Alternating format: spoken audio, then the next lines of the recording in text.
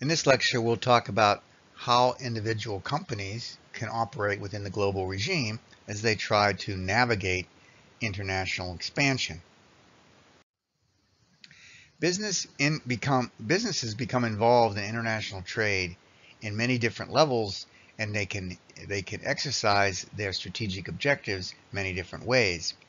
Most companies first get involved in international trade when they import goods for resale in their own businesses, import from other countries, sell them in the U.S. Businesses may enter exporting through a counter trade agreement, which is a foreign trade agreement involving bartering of products instead of currency. They give products overseas, they get products on the import side. An estimated 40% or more of all international trade agreements contain counter trade provisions. Export agents are middlemen that help companies by handling their international transactions. One of the first ways to do it if you're a small company is to find an agent who operates as an ex export import agent for you to handle a lot of the issues we've talked about in the prior lectures. This graph shows some of the world's largest exporting countries. While China is a leading exporter, the US and Germany are fairly equal in exports. These are numbers from 2011. They're estimates in billions and they're calculated on an exchange rate basis.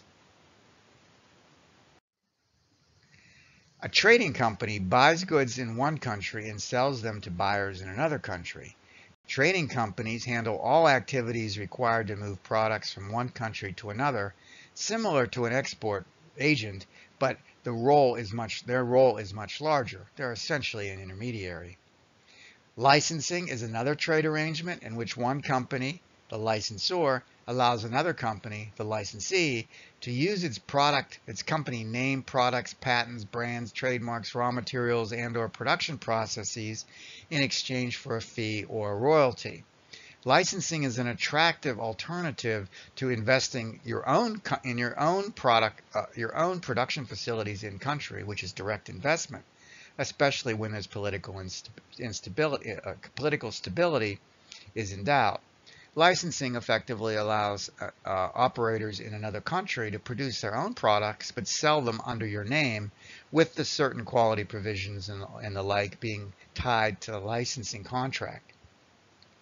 Large companies such as Coca-Cola and Pepsi use licensing, but this is especially advantageous for small manufacturers. You can be selling your products overseas with your brand and your company name and logo and all that without taking the risk of actually building assets in those other countries.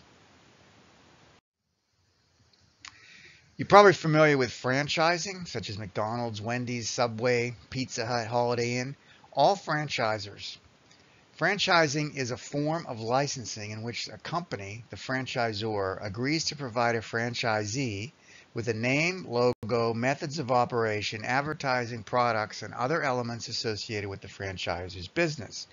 In return for a financial commitment and the agreement to conduct business in accord with the franchisor's standards of operation, franchising allows companies to enter a marketplace without spending large amounts of money.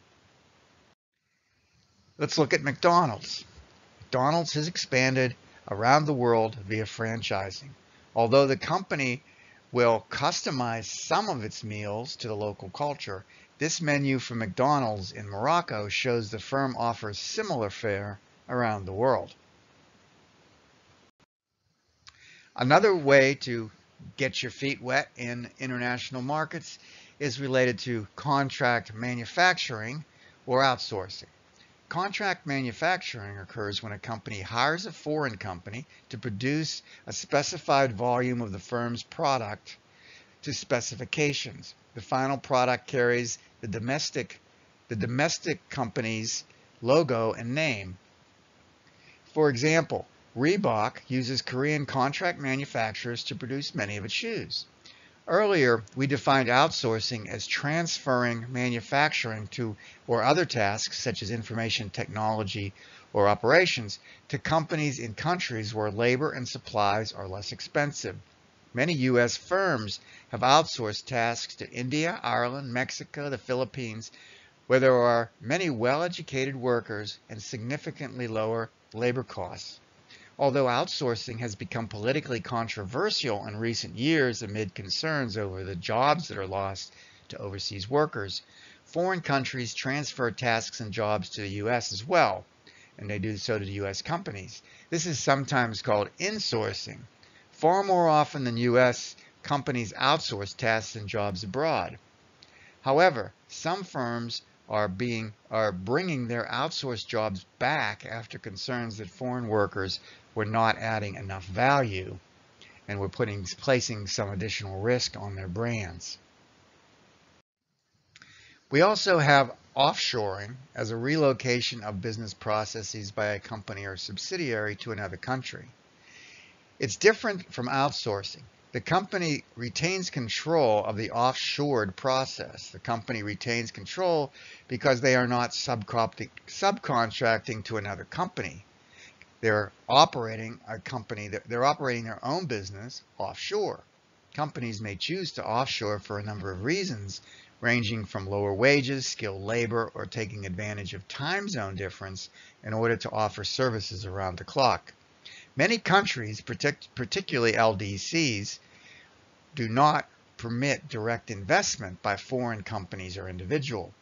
A company may lack sufficient resources or expertise to operate in another country.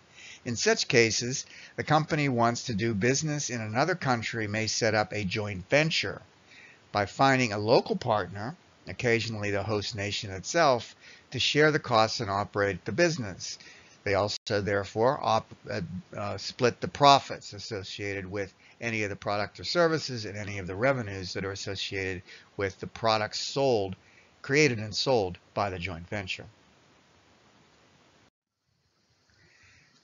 Another possibility, which has a little bit, uh, which starts to have additional risk associated with it, um, are strategic alliances and direct investment.